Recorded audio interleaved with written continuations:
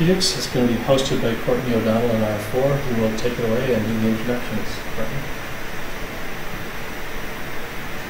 Good morning, everyone. Uh, my name is Courtney O'Donnell. I'm one of the University of Washington uh, R4s, and I'll be introducing our speakers as well as some questions that I hope you can all think about during the presentation that I myself had uh, in learning about this topic. Musculoskeletal conditions are a major burden on individuals, health systems, and social care systems, with indirect costs being predominant. This burden has been recognized by both the United Nations as well as the World Health Organizations. We're very lucky to have three uh, unique speakers here with us today. Uh, King Holmes is the chair of our Global Health Department at the University of Washington as well as the director for uh, the University of Washington Center for AIDS and STD Research, which is a WHO collaborating center. He has done a tremendous amount of work, both globally and internationally, on STI prevention as well as HIV research um, in Africa, Latin America, Southeast Asia, and the Western Pacific. We also have Theo Vos here with us today, who is a professor of global health at the Institute for Health Metrics and Evaluation, and a key part of the global burden of disease research team. Dr. Wagner is very well known to us, and he'll be our last speaker uh, from both orthopedics and neurological surgery. Uh, he's done a tremendous amount of work both locally and globally. So I'd like to introduce our topic with a few questions that I have and I, I hope will stimulate some discussion at the end of the session. What is the definition of the global burden of disease? How did the University of Washington Department of Global Health come to be established? What is a disability-adjusted life year? How does one collect data points to understand the burden of disease and disability-adjusted life years? As an orthopedic resident or physician, do I need to investigate internationally to understand the global burden of disease? Is there an opportunity for an international experience to research the global burden of disease and provide clinical service? How many of our residents would be interested in an international experience where there is a large burden of disease? How many U.S. training programs offer such a rotation?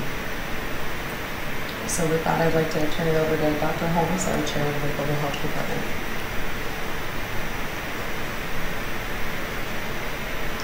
Thank you very much, Courtney. Um, this is the Foege building, and when uh, this building was opened, Jimmy Carter came to celebrate it, and uh, Bill Foege was here, and he said, people who are coming to this building or working here, the toughest thing that we're going to have to learn about working here is how to pronounce the name of the building. And uh, Ted threatened to introduce me as the Foggy uh, professor or chairman. People call it Fag, uh, Fo- Foggy uh, faggy, um, but it's faggy, so it's nice to be here. And uh, I thought I would begin uh, just uh, trying to give you a little bit of uh, definition of what global health is. And it was used to be called tropical medicine, and as times have gone on, it gradually evolved to geographic medicine, when the Rockefeller University was funding it, and then international medicine, and then international health, to not just be talking about medicine, but public health and other areas, and then global health. And we adopted the name global health for our department rather than international health while we were doing strategic planning because this had five syllables and this just had two syllables. And I think uh, eventually we may be seeing world health will go from three syllables, I should say, to two syllables. And that's partly why we're using those terms. I think the concept, though, is that uh, global means we're dealing with conditions that affect all of us globally uh, across the world, things like climate change. So whereas international tend to mean going overseas to deal with uh, problems in other countries. So it's really a field, not a discipline. And the goal of the field is to try to bring people from all disciplines, like orthopedics, into global health to work effectively. Um, so I'm going to say a little bit about uh, the Consortium of Universities for Global Health. There now It's an organization that was actually pulled together by Haile Debas, a surgeon from, used to be up here, now down, living down at UCSF. And we have uh, been steadily growing. We first met about eight of us in, uh, eight years ago. And now the organization has grown and steadily growing to 120 schools domestically and inter- internationally. These are global universities. You probably see the ones uh, where you went to school on this list, and it continues to increase. Uh, the actual uh, chair of the CUGH now is Judy Wasserheit, who's vice chairman of our department, and we've had a lot to do with its organization. Um, so why is there this uh, tremendous interest in global health? And let's see how this goes. Uh, partly, it's the sense, the growing sense of the widening income gap and the large health gap. And then uh, now our governments are recognizing health as a development issue, so USAID money is going to this. And there is the fear of the threat of global infectious disease pandemics. SARS, the current problem uh, in uh, the Middle East of something called MERS, etc. And these are going to continue, even though the GBD data, say that communicable diseases in general are causing fewer deaths. Uh, uh, there are these threats and pandemics. And then we have tremendous new resources for global health, uh, funding from uh, groups like uh, the federal government, foundations, and NIH, and. And then there is this feeling of young people like many of you that, uh, and from faith-based organizations, that really is the right thing to do. And by working in this way, we can really have an impact. So the students and their interest is amazing. So our department was launched in uh, uh, January of 2007 after a 10-year strategic planning. Ultimately, the Gates Foundation produced funding for us, and we began.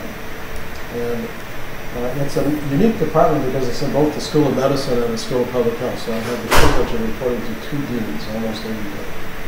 Uh, and we have lots of global partners. And Mark Emmert, the president then, said he expected us to try to engage people in our department from across the university. There are 16 schools here.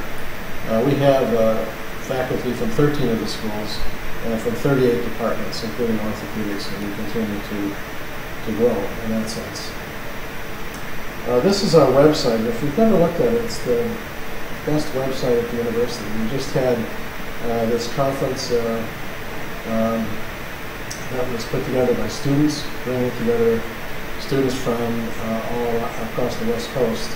We had about six, 600 students who came, and it was on the topic of uh, being uncensored around uh, equity and uh, not only in health, but in uh, all fields.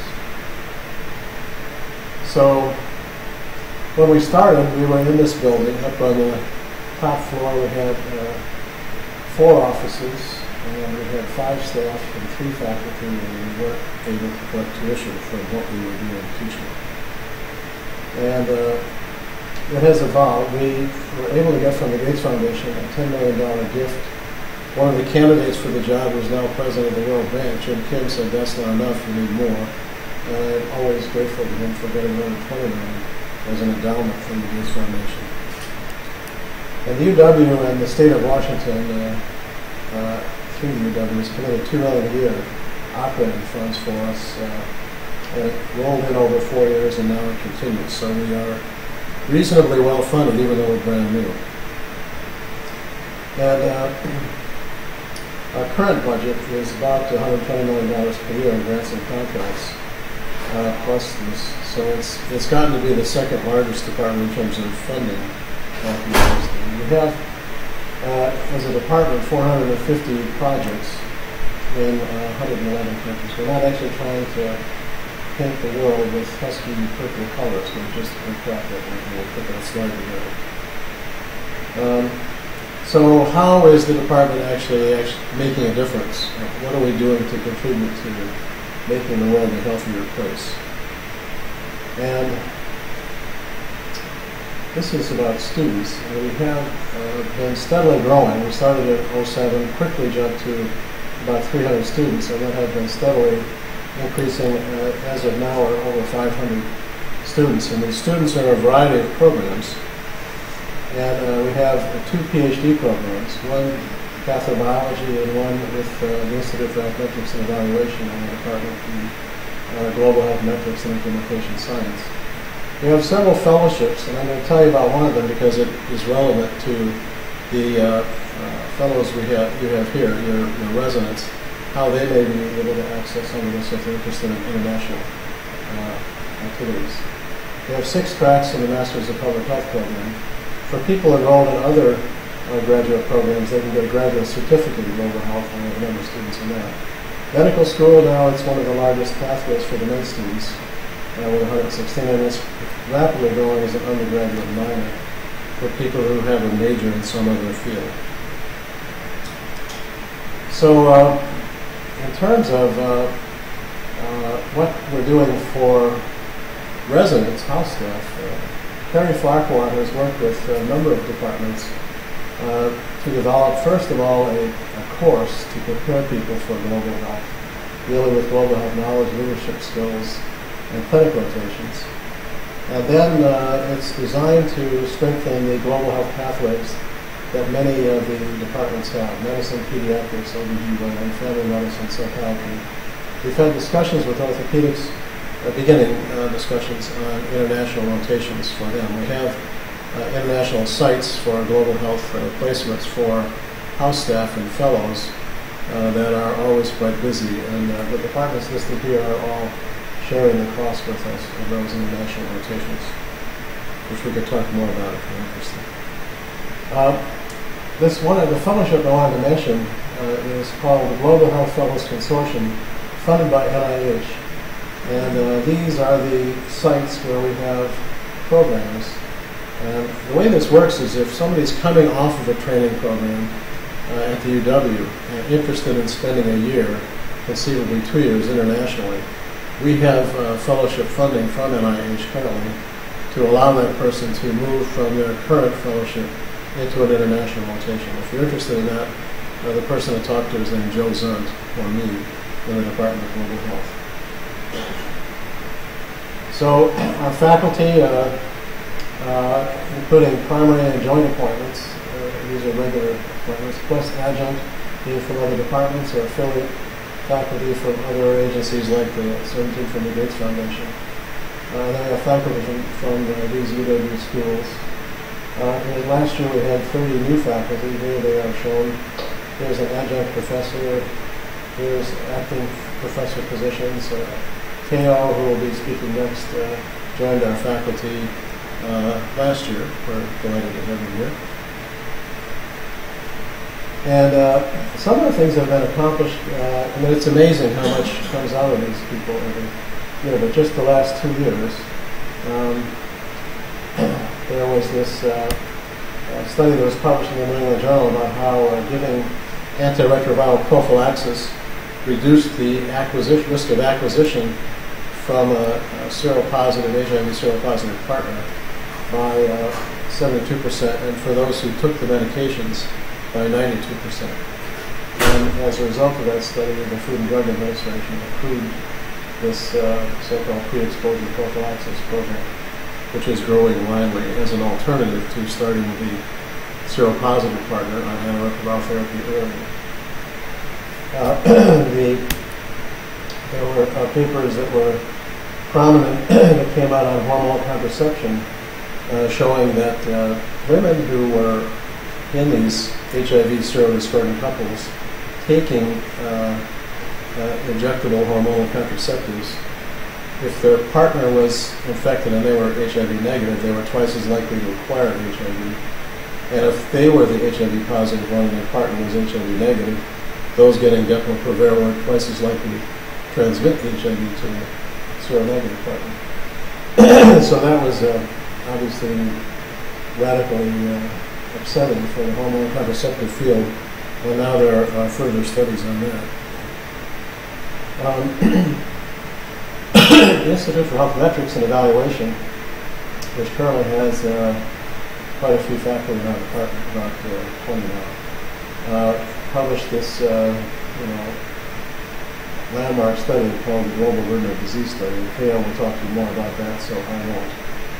And then uh, the Lancet also published the Global Health 2035 uh, World Converging Within a Generation, led by Dean Jamison and Larry Summers. Uh, uh, and it really talks about how we will, what we need to do to move towards controlling infectious child and maternal mortality and the non-communicable diseases and injuries that many of you are interested in. So this was uh, really a big uh, publication last year. So um, I looked, I did a, a, brief literature review preparing for this talk on uh, what is the current status of global health for orthopedics and surgery in general. And pulled together a number of articles, and, and uh, Courtney will have these slides for those of you who are interested in pursuing this further. But uh, there were only uh, there were 81 publications uh, on this topic, and here they are. Paper by Clement, what is the current status of global health activities and opportunities in U.S. orthopedic residency programs? One of the most recent. Uh, global health and general surgery, a national survey of what people are doing, what residents want. Very large proportions of people in, in surgery and in orthopedics who are applying for uh, residencies and are, are choosing on the basis of having these opportunities for international activities. And these articles detail that. Surgical residency uh, training in international volunteerism a national survey of residents from two surgical specialties, which were orthopedics and general surgery. And then uh, the UCSF International Orthopedic Elective. These are all described here. And uh, I wanted to, let's see, go back.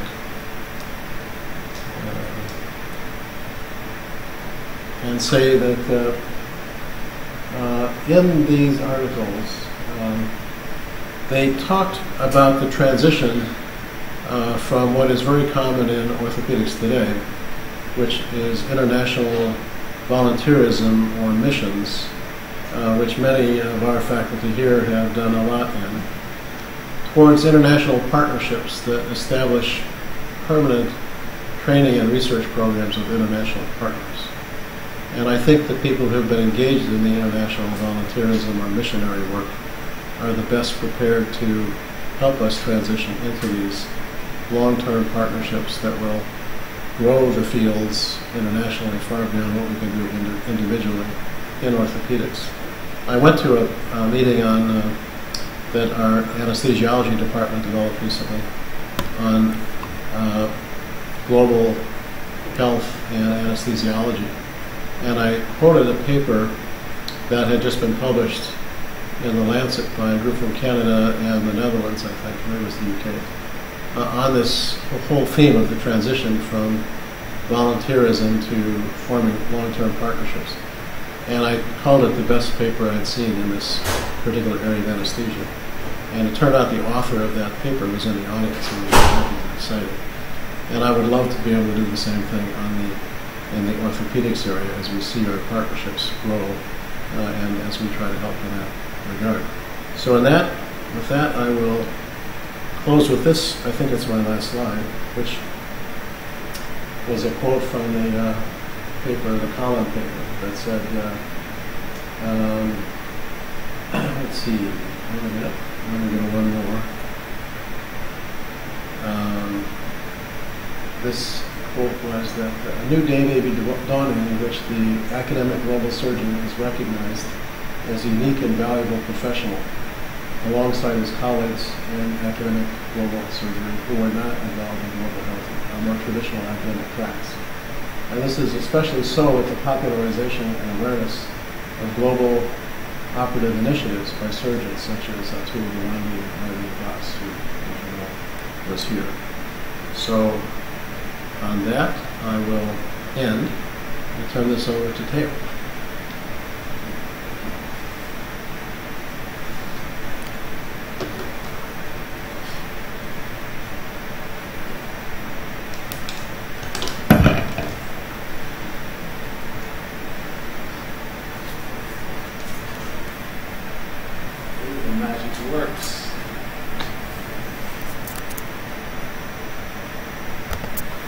I'm going to talk to the global burden of uh, disease, and I'll uh, answer a few of the questions that, uh, that were posed.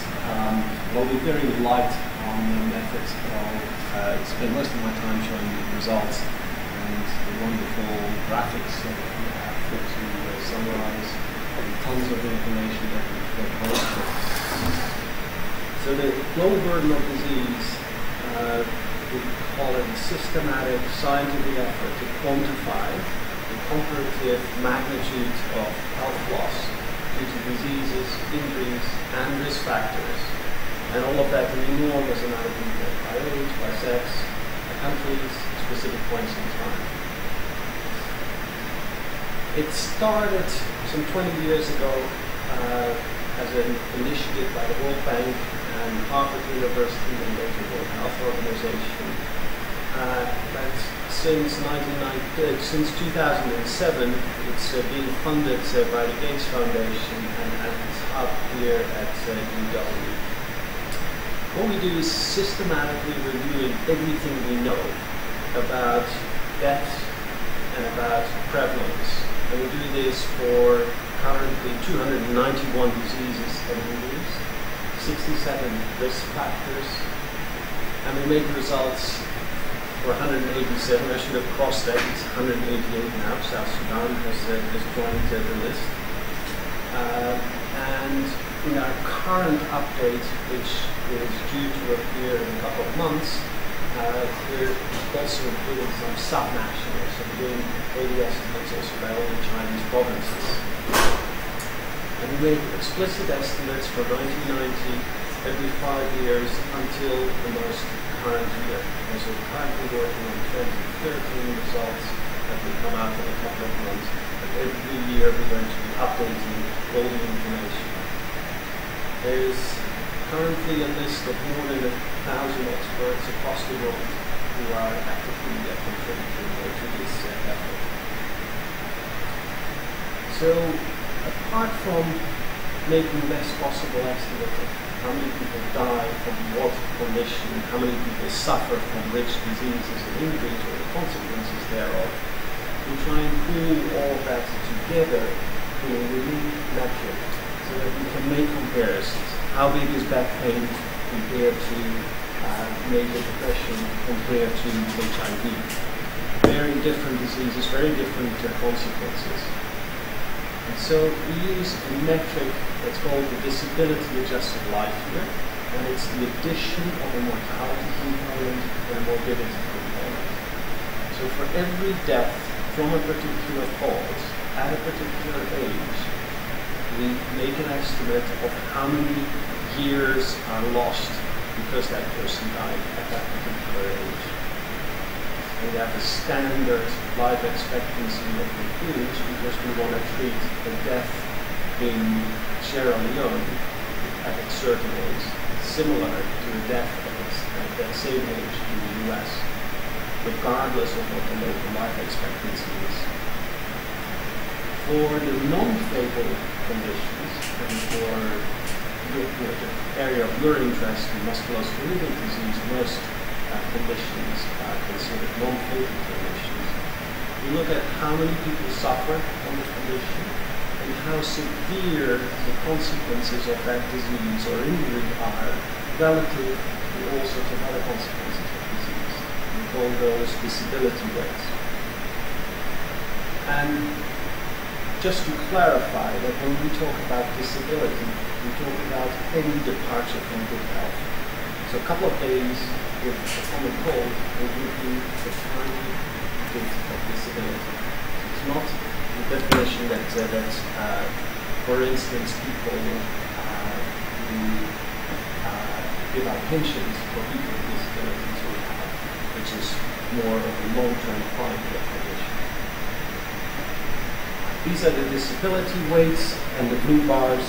I'll describe this very well. Um, and the blue bars indicate uh, the uh, frequency of conditions that have uh, a disability weight in that range. So disability weight of zero means perfect health. Disability weight of one would be perfect ill health or. You can see it ranges. Most conditions are relatively mild, like mild anemia uh, or mild arthritis, but the severest condition that we have is active psychosis due to schizophrenia, closely followed by quadriplegia.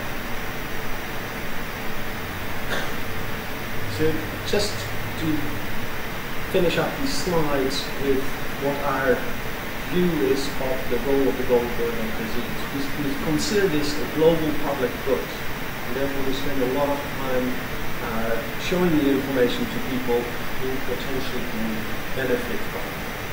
So we're going to update it all these major diseases and risk factors annually. We make sure that we have comparable measurements and measurements that are not influenced by advocacy like so many health statistics are. Um, whenever I open up a newspaper that says uh, has a story about a particular disease, there's always a quote about how many people suffer from that disease. Invariably, those quotes are two to three times off from what the number. And there's a big habit of, of over counting and inflating numbers when people have a specific uh, disease focus. Um, the our big aim is to provide this information to policymakers and to health funders to help them set priorities and also importantly to track performance of past policies. Further help that for next year, we're not just going to include the estimates on deaths and on numbers of cases, we're also going to try to estimate how much is spent on this disease and people have to start rather modestly with the number of countries where can do as well. Uh, but the aim is that over time, we will track that expenditure by disease we can. So let me show you some of our magic. So this is our, our tool of making estimates for non-fatal conditions. This is uh, the data that we have on back pain from the United States uh, from 1990 to 2013. Every little green bar is a data point. The bar plus indicates the age range, and the line, the vertical line, indicates the uncertainty in each of the data points. And can see even in the US, there's a massive amount of variation in how the data comes to us on back pain. So we have to make some sense out of this. And the first thing we do is we look at how have these uh, data points being collected? What were the definitions? What were the methods? Are they comparable? And if they're not comparable, how can we make them comparable? So just to illustrate this, from the raw data that you see here, we adjust the data by known relationships or relationships that we observe in the data by how different methods of asking questions and establishing back pain uh, relate to each other so that we can make these estimates more comparable. And this is a big problem in making these non-fatal estimates. People do studies in lots of different ways, use different methods, and uh, you get very different estimates just looking at the raw data. But what we're after is not the variations in how people measure the occurrence of a disease. What we're after is what is the true variation, and what is the common uh, theme within all the data. So what you then see is eventually you come up with these blue lines, and the area around it indicates how much uncertainty we estimate there is in this age pattern of the occurrence of, uh, of that can also see that there are many time periods where we have lots of data, but there's also for 90, the 1990 period, we didn't have a single data point that we could find in the US. So the tool helps us to infer what the level of back pain likely was in 1990, given everything that we know about uh, the years following. Interesting feature here is also that if you hover over any data point, it gives you the metadata. It tells you the reference, where it came from, and it tells you what the amount of adjustment is that we made uh, to the data frame. Then we can map this. This is uh, low back pain again in 2010, and uh, it shows the variation across But if you're interested in the provinces of China, here we are. And look at the variation. And you can then look at what it is for males. So this is a wonderful tool for not only for us, because we use this a lot for diagnostics, to pick up you know, where there may be problems in the data where we need to make further adjustments, but also for policymakers to see what the distribution is of a particular disease. Going on to the big picture. This is what we call a tree map. It's like a square uh, uh, pie chart. All the boxes add up to 100%. And what I'm showing you now is the contribution of these years of lost, so our translation of deaths in the world. And you almost need a magnifying glass to find musculoskeletal disease. Very small contribution to mortality in the world. But if I now move on to disability, can see the musculoskeletal conditions are a big chunk of the overall pie of, uh, of disability, only trumped by a few percentage points by combined psychiatry and all mental and substance use disorders. So the importance of making measurements in disability adjusted life years is if you move away from the traditional priority lists that are totally based on what makes people die and puts into the picture these major sources of disability. We can then look at what it is among the whole picture. Of course, mortality globally is still a very important part of the, the deaths from diarrhea, and pneumonia, neonatal conditions, HIV, malaria. But if we go to the United States, you can see that as a proportion of the total burden, those clinical conditions are highly larger. Let's also look at greater detail. So among the musculoskeletal conditions, low back and neck pain, very important contributors. Osteoarthritis, a bit smaller for rheumatoid arthritis, tiny little thing here for gout, and then a rest category for other musculoskeletal conditions. In next iterations of the global burden, we're going to try and unpack this rather large category of other musculoskeletal uh, disorders. For instance, we're going to uh, break out estimates, separate estimates for shoulder problems.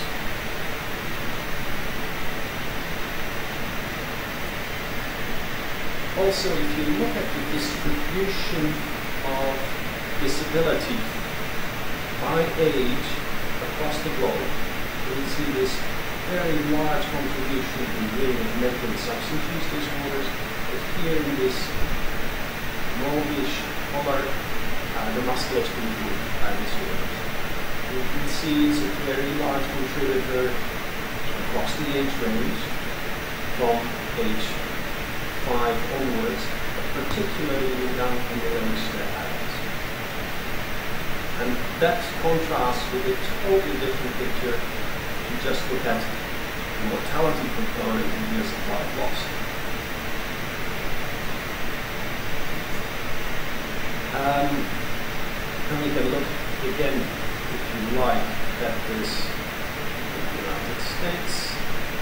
So this picture of the mortality component, then looking at the disability uh, part uh, of it, and then we can also look at the combination of the two and see the contribution of musculoskeletal disorders as part of the overall burden of disease.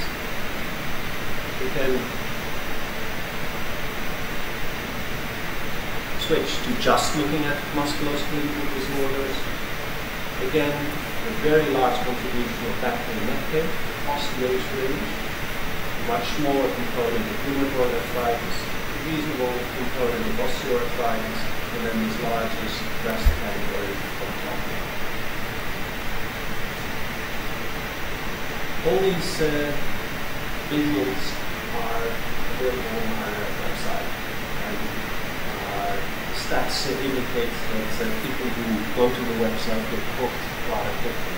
But more than 30 minutes average time that people spend on our website, which is uh, quite remarkable. Let me see if I can make this.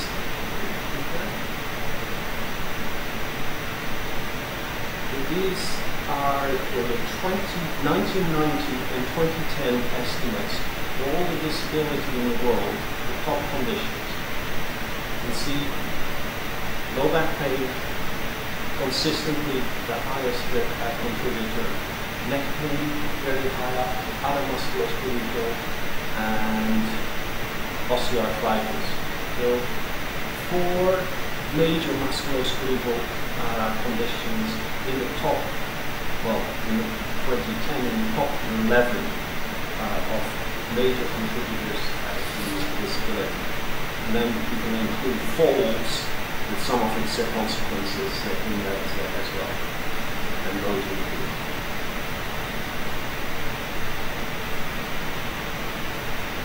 Lastly, maybe to show you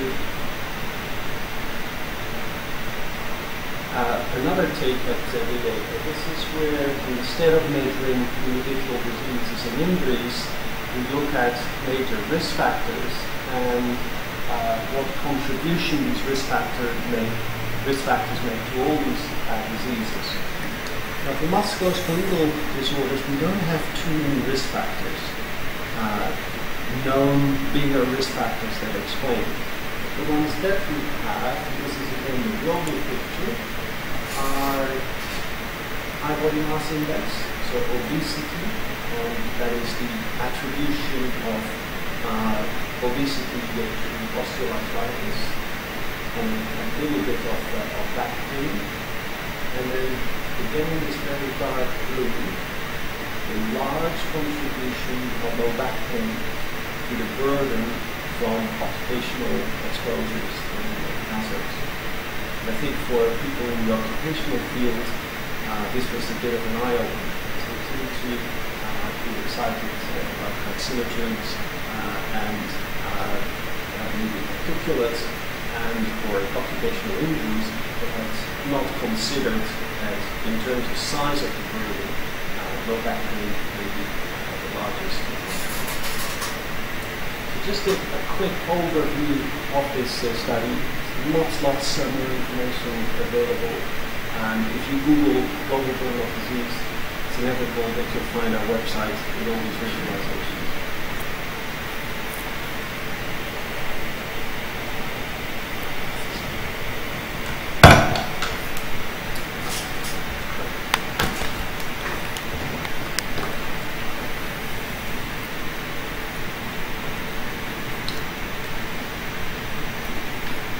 So I want to thank uh, Dr. Holmes and Dr. Vos for coming, and uh, it's really a very special um, event to have this. And uh, I think these names are what we were missing. We didn't really understand what they were trying to say. And for all those who are interested in looking at orthopedics, I think in a bigger way, they're going to need to learn these names. So I just want to tell my story a little bit. My story for orthopedics really started with my dad, who worked with the uh, ship Hope in the last trip to Brazil. And these are some of the places that I went and I've worked over the years. And I will uh, try to go through it. This is me, 48 years ago, coming out of Syria and uh, working on a thalassemia project in the Middle East. And it was under tropical medicine at that time. And uh, so I've, I've had a lot of, a lot of road Right, it's the same guy. And uh, so third world missions, I just want to make sure that, that there's a lot of people in our department who've done a lot of things, and I want to, this was a list that I could remember and give some credit to because uh, I knew that they had made these trips. And uh, I want to tell you a little bit about how I started when I did my, I left here, uh, left the residency and went to Hong Kong. And when I got there, this was about the second day I was there, and this woman was in front of me. And she was a walking around woman.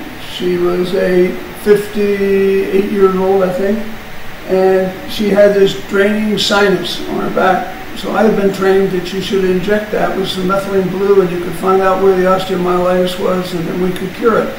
And that's what we did during my residency.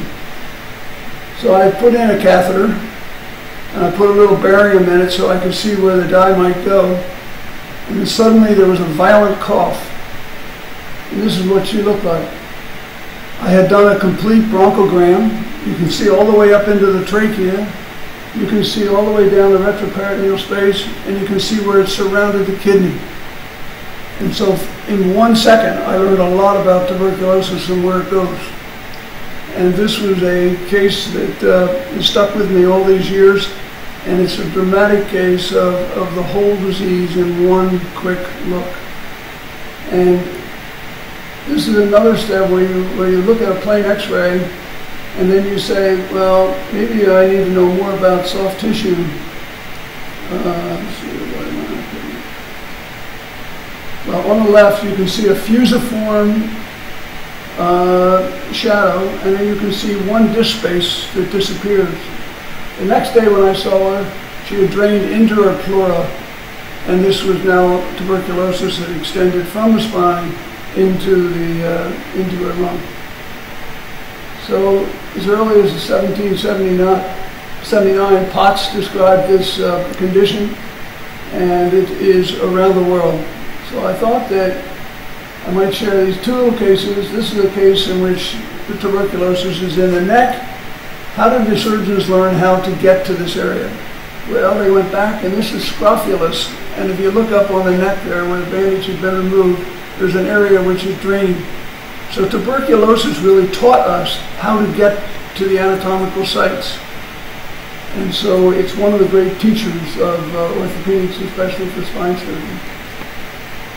So tell me, uh, talk a little bit about tuberculosis. There's 9.6 million worldwide developed TB per year, 10,000 cases in the United States, 1.3 million worldwide die, 320 among the HIV population. What's even more concerning is that the resistant tuberculosis, resistant to isoniazid and other things, that 3.6 of the new cases in 2012 and 20% of people who had previously been infected with tuberculosis.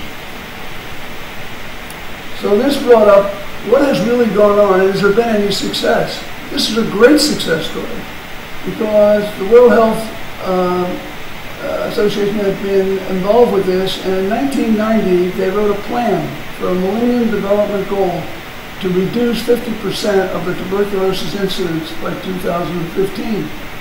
And that progress has progressed. We are now down about 2% per year. It costs about $8 billion a year.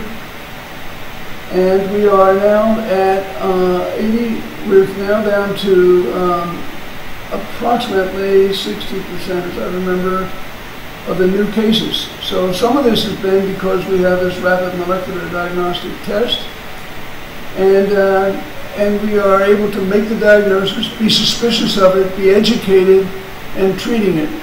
So there is real progress in these uh, diseases.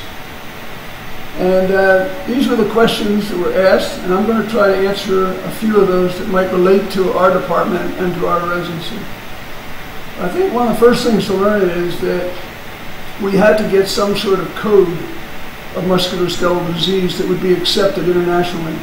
And of course, it's got to talk about the etiology, it's got to talk about the exact anatomy. And last week, Brad Henley gave us a real report on what it's going to do with the ICD-10. And we realized that in 1995, Britain had already accepted the ICD-10. Turns out that they don't have to add all the data that we are being asked to do. But at least there's a system, and that's going to be a very important thing to report to a global health group, really those numbers and statistics. Next thing I want to talk about is telemedicine, and which really means distant medicine. And this word tele keeps coming up in our, uh, in our history. But 150 years ago, the fastest message was the speed of a horse. And 120 years ago, telegraphy began by wire. 100 years ago, the telephone. 60 years ago, television. And in 1964, there was actually a closed circuit television between a psychiatric, psychiatric institution in Omaha and Norfolk, 112 miles. And over this 50 years, we have been very slow to adapt uh, really telemedicine in its form. So we had a very exciting uh, time here because if you look at what the World Health Organization wants to do, they really are a great proponent and recognize that the provider and the recipient must be present in the same place and in time. That's what's going to make a difference. This is not a delayed thing. This is a in front of you type of uh, consultation. And Europe has really accepted it, and Britain has now made it the heart to, of the strategy to modernize and improve their National Health Institute, their system. And uh, WHO uh, constantly says telemedicine is not a new technology, not a new branch of medicine. It's just a tool in which better medicine can be given. So I wanted to share with you, uh, March 4th of this year, I was in, uh, we were on our way to uh, Indonesia, and we set up a conference, and the conference was between was between Jakarta and the University of Washington. So 10 o'clock at night, we met 15 hours ahead of here, and with this, uh, Aaron Schroens, who's here, was the person who really set this up through uh, through uh, uh, University of Washington there. So Polycom system was used. And I just want to show you what that um, what that is. Let's see, Aaron. It was.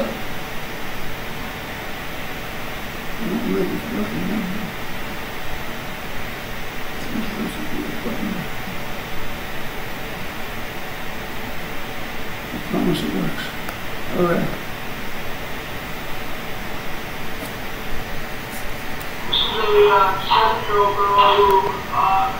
Well, this is a young girl that's being presented. She's a seven-year-old girl, and I think that her findings are pretty obvious. So we have about uh, 30 uh, residents at 10 o'clock at night, and a, uh, a full faculty. So this is a girl with a very, very severe deformity of her thoracic spine. To tell a little more about it, she is a girl with a who has a radial hand on the right side. She had a coarctation of aorta, which was closed at, uh, at one month in Singapore. And she has a, uh, a congenital spine, and she has a hypoplastic lung. Otherwise, she's quite active. She climbs multiple steps without a problem, and she's quite good. So with this system, we were able to use a camera that will swing and these are really stand-up old X-rays that are on a board and can be uh, and can be uh, projected and brought here. So this is a picture of her from the side with this kyphosis. This is the terrible uh, scoliosis that exists at that level. This is her X-ray, and you can see the congenital uh, vertebra at T10. So this is a discussion now occurring at the University of Washington. This is Mike Lee speaking here with Dr. Lozier and the others. Things as straight as possible as much growth as possible. I want to say there was no voice delay that was detectable. The quality of this was perfect, and the band is the, the the width of the band that we had to use was established in the two places, and it worked very, very well. My own personal thought is this, the hemivertebra exists as a small posterior uh, is So the discussion here was whether you would try to uh, use growing rods of this young girl, or whether you would resect the entire uh, vertebra. And, uh, and the discussion was really quite lively, and it went back and forth between two places. And I think this girl got a really excellent consultation. Consultation could be shared with the parents and with an entire residency program in Indonesia. They have 80 residents, and, uh, and I think that we can really begin to use this. And I'm, uh, this is the entire collection there that is present, and uh, we felt very good. The chair colors were very excellent because they had the University of Washington colors, and uh, we thought that was a great coincidence and a good omen. So I'm going to go. Um, so one of the things I think that we have to learn is who owns musculoskeletal disease. And I think the orthopedists are distorted, and I think the world doesn't understand where we sit in this. Because if you have cerebral palsy, are you a neurology patient? If you have a sore hip, are you really a rheumatology patient? And when you collect world data, where does this go? If you have a spinal cord injury with a spinal cord uh, operation, is that a neurosurgery case? And I think that as we work out with Dr. Vos and with others, how we're going to put orthopedics in this formula is really important. And the more I learn about what each side doesn't understand, it becomes painfully clear to me that we need to take a big spot because if we're going to improve a DALY, we have a lot to do with it. And if you replace the hip, the patient goes back to work and becomes productive.